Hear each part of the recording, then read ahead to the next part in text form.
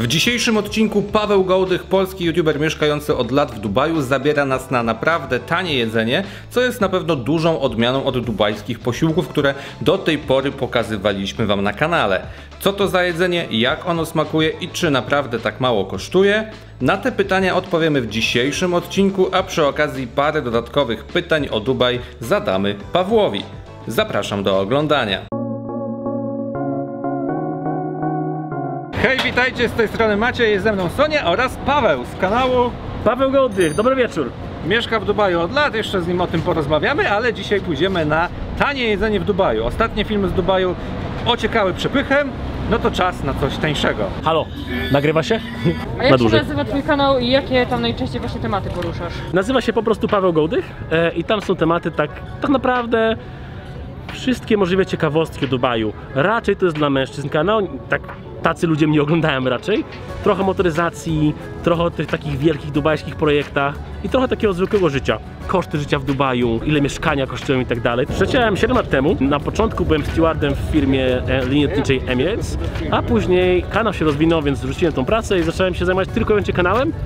No i tak się potoczyło moje życie, w tym momencie mam jeszcze dodatkowo kilka innych biznesów, które wszystkie działają w oparciu o kanał, czyli na przykład oprowadzam ludzi po Dubaju, ponieważ znają mnie z moich filmów, e, już mi trochę ufają, bo widzieli parę odcinków o Dubaju i chcą, żebym ja im pokazał to miasto, więc e, już jest to drugi biznes, później trzeci i tak tutaj jestem, chyba zostanę. Zaraz to jest moje ulubione.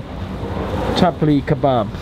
9 dirhamów, czyli tak jakby 9 zł. No, no, no. I to jest ten kebab plus jeszcze dal, czyli ten groch po, Mhm. po hindusku. I do tego dokupujesz sobie na przykład chlebek za złotówkę. Mhm. I do tego chlebka na przykład czaj za złotówkę. I taki Okej. zestaw ze wszystkim masz za 11 zł. To jest e, w Polsce to jest wiesz, nie ma takich rzeczy, nie? No nie, nie. No a tutaj w Dubaju proszę bardzo.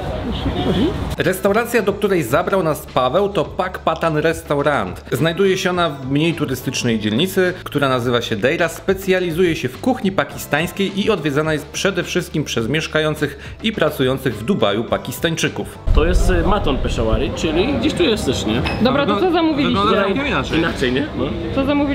Zamówiliśmy tak, specjalność ramadanową, czyli Tak. chicken biryani. Zamówiliśmy y, chicken peshawari i ponoć maton peshawari. Maton peshawari, no. Wyglądają te dwa dania bardzo, bardzo inaczej, ale to, bo to Peshawari to jest regionem Pakistanu.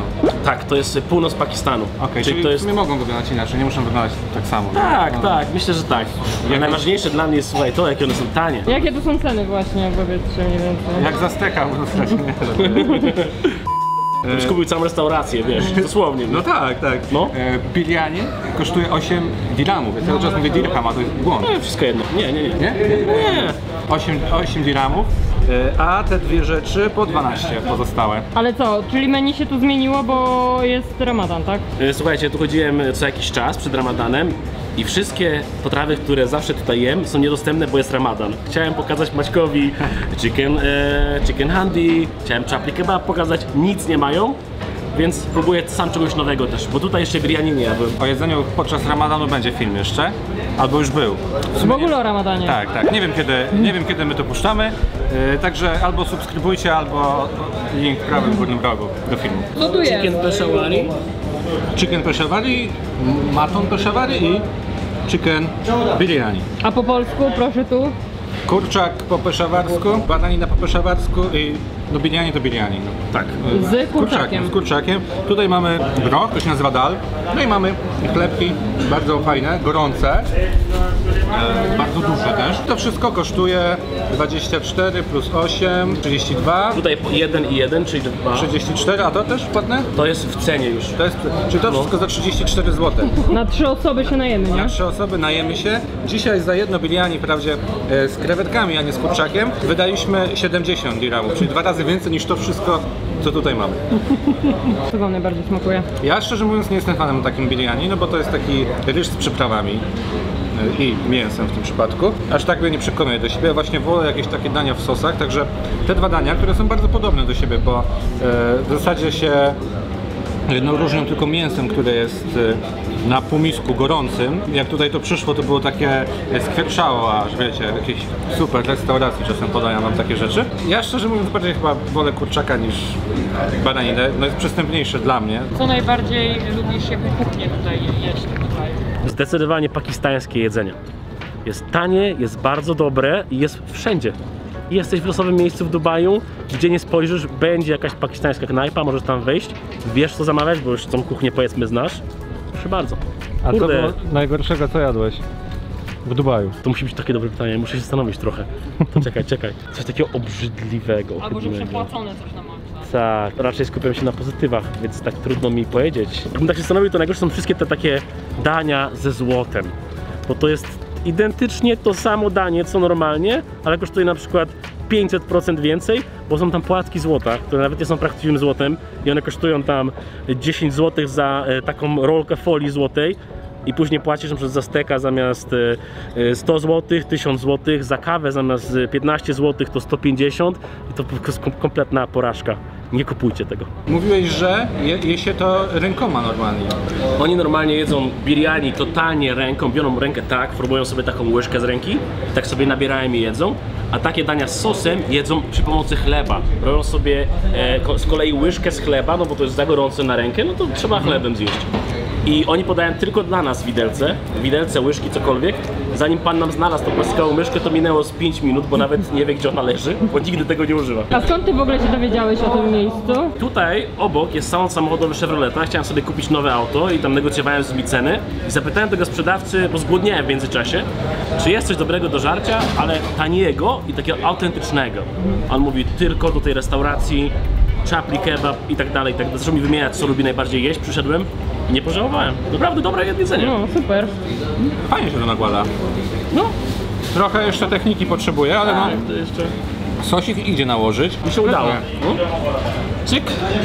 I można to zjeść. No. Chciałem przede wszystkim powiedzieć, że jak tutaj wchodziliśmy, to była pełna sala, a teraz pusto. Ludzie cały dzień nie jedli, przyjechali, zjedli i wyszli. No i jak tutaj to wygląda, patrzę co jest najdroższe i co jest najtańsze w menu.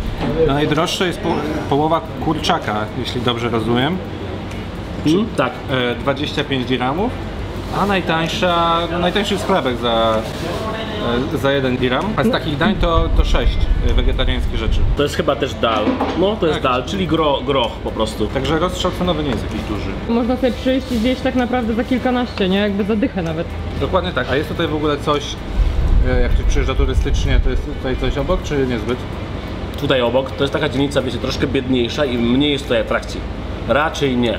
Najbliższe, co tu jest obok, obok w cudzysłowie, to jest już ten stary Dubaj, te targi złota i targi przypraw, Okej. czyli to jest dosyć daleko, jest 15 minut samochodem. No. Tutaj dookoła? Chyba nie, chyba nic. Czyli trzeba przyjechać specjalnie na tanie jedzenie. No tak jak my. Tak jak my.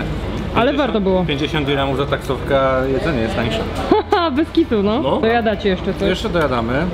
Domówiłem nawet więcej, na bogato. Na bogato. 6 dirhamów za takie coś całe. A, 6 dirhamów. Tak, Ale to jest naprawdę dobre. Bardzo smaczne, no. pewnie, że tak. I to jest wege, nie? Bo To jest wege, bo to jest groch. Dal to jest, w języku hindi to jest e, groch, e, czana to jest soczewica. Okej. Sorry, ciecierzyca, so- soczewica? Zaplątałem się. Maciek to na pewno napisze takim, taki tekst na Tak, dole, tak, tak, co tak, to tak. naprawdę jest. Zrobię to. Jakby było mało tanich rzeczy, tutaj jeszcze jest woda. Za darmo. A to jest kranowe, czy... Tu w ogóle można pić wodę z kranu? Może, ale zimna. Smakuje jak z czanu, czy nie? Smakuje jak z kranu i smakuje wybornie, bo za darmo. Za co najbardziej lubisz Dubaj, a czego tu nie lubisz? Wow, najbardziej proste. Bezpieczeństwo, pogoda, pieniądze, tu się dobrze zarabia. Tutaj nie ma się czego w ogóle bać, nikt nie kradnie, nikt cię nie pobije w nocy, tak jak w niektórych krajach, albo w większości krajów, e, jak wracasz z imprezy. Ale minus jest taki, że przez to, że w tym kraju tak wszystko działa jak w zegarku, to jest to trochę takie miejsce wyprane z emocji. Takie trochę zbyt aż sztuczne i sterylne. I nie ma klimatu w tym Dubaju czasami. Nie ma tej duszy, dokładnie, nie ma duszy. O dziwo, mimo że Dubaj się wydaje taki idealny, to jest parę rzeczy, które u nas są lepsze po prostu. Jest naprawdę, moim zdaniem, lepsze jedzenie, gdyby porównać do jedzenia w takiej samej cenie w Dubaju. W Dubaju da się świetnie zjeść, ale to jest wtedy bardzo drogie, niebotycznie drogie. W Polsce nawet takie normalne knajpy są dobre, a tutaj nie zawsze właśnie. Te takie tańsze są rzadko kiedy dobre, to raz, a dwa naturalność. W Polsce się czujesz tak na luzie. Swojsko, dokładnie. Tutaj y, po 7 latach czujesz tak, że jakby trochę ciągle trzeba uważać, zachowywać się i być takim przykładnym obywatelem, a w Polsce po prostu czujesz się wolny, tak jakby. To jest może złudzenie, bo jestem Polakiem, dlatego tam się tak lepiej czuję, ale jest mi w Polsce tak luźnie, luźno. Tak tu sobie gadamy o różnych rzeczach z Pawłem, no i w końcu sobie przypomniałem, że ja pakistańskie jedzenie jem po raz pierwszy w życiu. E, Ono jest podobne do kuchni indyjskiej, hinduskiej, mm, ale e, akurat pakistańskiego jedzenia jeszcze nie jadłem i muszę przyznać, że jest to spotkanie e, dobre, zwłaszcza, że to nie, nie jest wywalone dużo pieniędzy na to, tylko właśnie jest to jedzenie tak. tanie. Pierwsze spotkanie udane. Myślę, że będę kontynuował swoją przygodę z kuchnią pakistańską. Nie wiem, czy w najbliższych dniach tutaj w Dubaju, ale generalnie w życiu. Jak gdzieś na nią trafię, to jej spróbuję.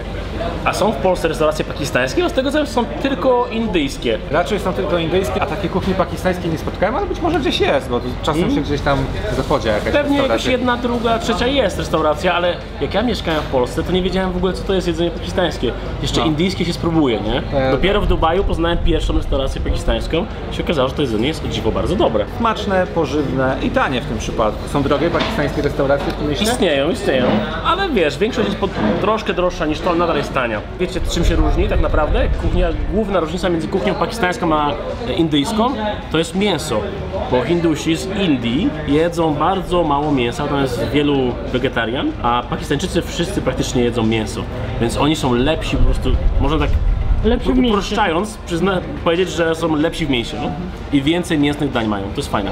Ostatecznie za cały posiłek zapłaciliśmy 46 dirhamów. W tej kwocie było jeszcze danie domówione przez Pawła oraz napoje gazowane. W przeliczeniu na złotówki daje to 47 zł, czyli po mniej niż 16 zł na osobę. Była więc to zdecydowanie najtańsza restauracja, w której byliśmy, choć znalazło się jeszcze kilka, w których ceny za posiłek były no, bardziej akceptowalne niż to, co widzieliście w dotychczasowych filmach z tego miasta. A skoro już o tym mowa, zachęcam do zapoznania się z vlogami z Dubaju. Do tej pory opublikowaliśmy relacje z knajp Nusreta, Buraka, Jamie'ego Olivera czy z restauracji z Burj Khalifa, która bardzo nas rozczarowała. Link do playlisty ze wszystkimi filmami znajdziecie w prawym górnym rogu ekranu, a poza tym warto zasubskrybować ten kanał, bo przed Wami jeszcze kilka materiałów z Dubaju.